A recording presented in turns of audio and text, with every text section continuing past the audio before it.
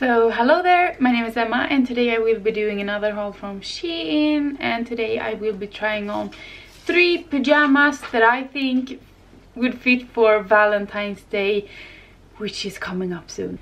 So here we have the first pajamas and all the pajamas that I will be trying on in this video are gonna be in a size small and they uh, and I paid between 8 or 9 dollars to 12 dollars I think for these uh, so yeah here we have the first first pajamas.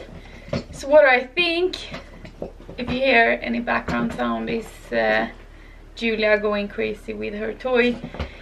Uh, I really like this one. I think it's super cute. I think it fits perfect for Valentine's Day.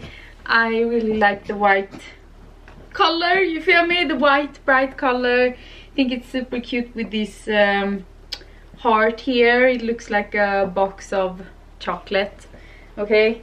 And then we have box of chocolates here and uh, like roses i guess.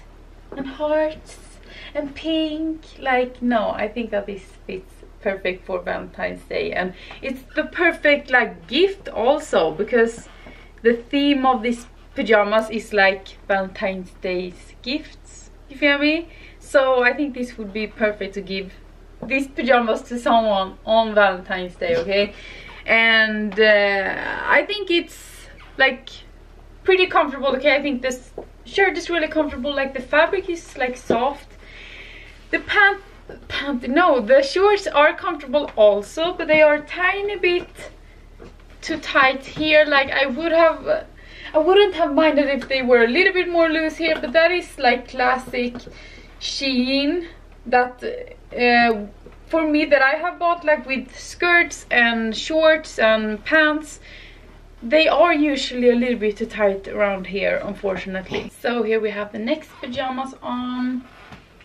Uh, and I guess it's kind of the same as the one that I just tried on except that this has like other pad patterns on uh, I think the pajamas that I will be trying on in this video is from Shein's late, latest like Valentine's Days collection. I think so, okay?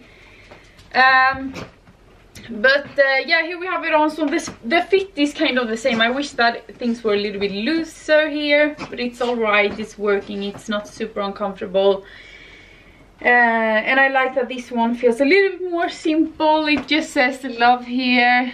Uh, love that they put a heart there, a pink heart there instead of an O. Uh, no, I really like this like bright pink color, okay, and I think the pattern on the shorts are really cute also. So here we have the last pajamas on, and this last one, last set is a little bit different. I feel like the material is the same, but this one is really a little bit different since this is a uh, like a uh, no it's not a tank top it's not called that but you made like a top with these straps here instead of a t-shirt and it's a little bit more tight. Like this is a small i don't know if uh, they even had an extra small but usually when it's like this when there's a pair of shorts or pants or whatever i prefer to pick up size small from Shein because I know that they are usually a little bit tighter around the waist which these shorts also are okay? But uh, yeah I still think that this is working. It's pretty tight anyways but it could have been a tiny bit tighter okay? But I think it's really cute. It's really simple. I think it fits me well. Super comfortable. I think the hearts are super cute with one heart there and then like the outlining of a heart um, in the back. And then we have these uh, shorts, okay, uh, which I think are super cute. Like I feel like the pattern fits good for sleepwear. The thing here is fake, okay, it doesn't do anything. So if you wanted to, I guess you could cut that off but I guess that it's a cute detail to have that also. So yeah, that was all the pajamas that I had for you today. So what I think, am I satisfied? Yes, I am very satisfied with these. I think that these pajamas that I tried on were uh, they were comfortable but all of them felt a little bit too tight in the waist but otherwise they were they were very comfortable and I think the patterns fit super good for Valentine's Day okay? And I hope you guys also thought so. Uh, in case if that's the case, leave a thumbs up. Follow me on Instagram and TikTok, my name is the same there, Emsammast.